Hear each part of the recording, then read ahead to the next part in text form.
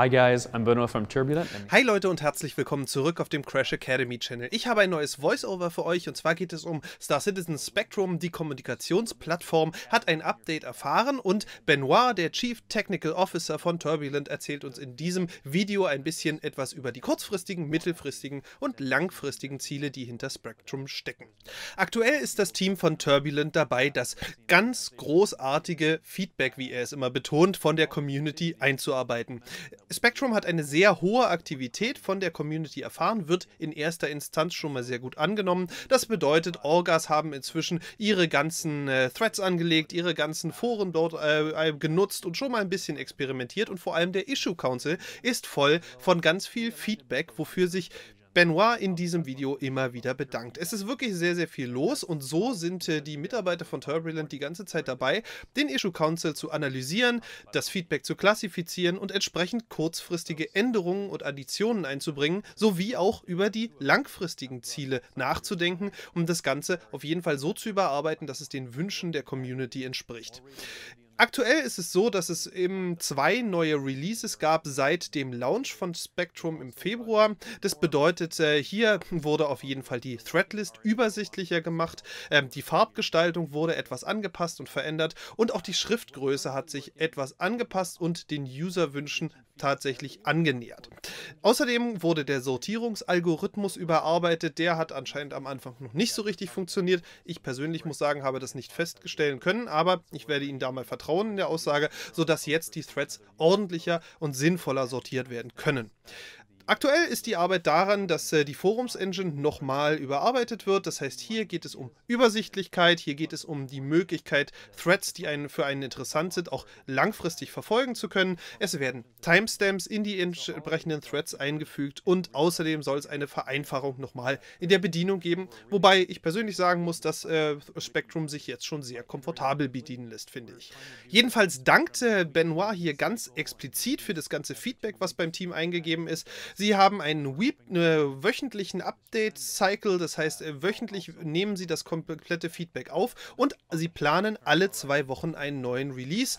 Es sind natürlich kleinere Releases, aber die dafür regelmäßig und relativ schnell an die Community, damit sie auch weitere Feedback von der Community sammeln können, weiteres Feedback einarbeiten können und Spectrum damit zu der wirklich nächsten Kommunikationsplattform machen, die Star Citizen braucht.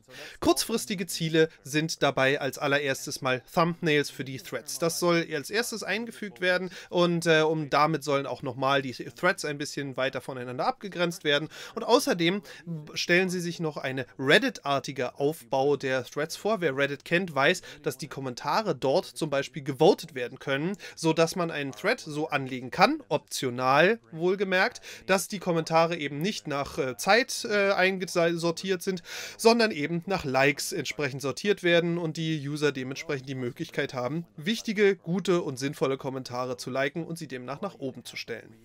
Die mittelfristigen Ziele sind schon deutlich ambitionierter. Hier geht es nämlich dann um die Mobile App Unterstützung. Das heißt, hier geht es darum, dass äh, Spectrum nicht mehr wie jetzt aktuell nur über eine Website arbeitet, die übrigens auch schon relativ bugfrei auf Mobilgeräten funktioniert. Nein, hier soll die Unterstützung für iOS und Android an erster Stelle stehen. Danach geht es dann auch nochmal in Richtung Windows Phone. Da kann er aber noch nichts Genaues zu sagen. Sie werden es dann jedenfalls darauf aufbauen, wie es bei iOS und Android funktioniert. Dadurch kriegt man dann eine höhere Performance, weniger Bugs und insgesamt wird es sehr viel nutzerfreundlicher, wenn man zum Beispiel unterwegs ist dabei. Ja, die langfristigen Ziele, da steht an aller, allererster Stelle der Voice Support.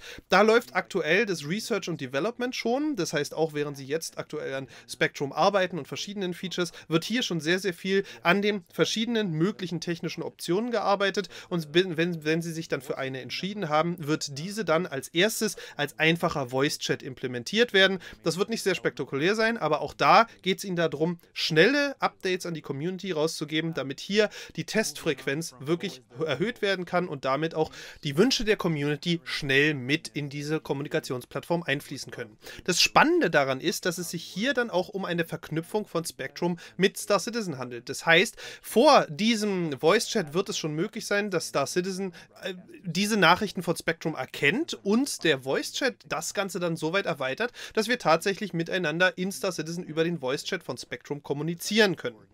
Dazu soll es dann später auch eine Aufteilung von Kanälen geben, das heißt Command Channel und Squadron Channel zum Beispiel, sodass Captains und Admiräle, wie er es nennt, eben mit ihren jeweiligen Schwadronen und ihren Trupps sprechen können. Längerfristig äh, soll das dann auch noch über den Desktop funktionieren, das heißt mit der Integration in den Launcher, das kommt dann zusammen mit dem Delta Patcher, soll es eben dann möglich sein, auch nur über den Desktop Spectrum laufen zu lassen, ohne zum Beispiel eben den Browser oder eine App offen zu haben.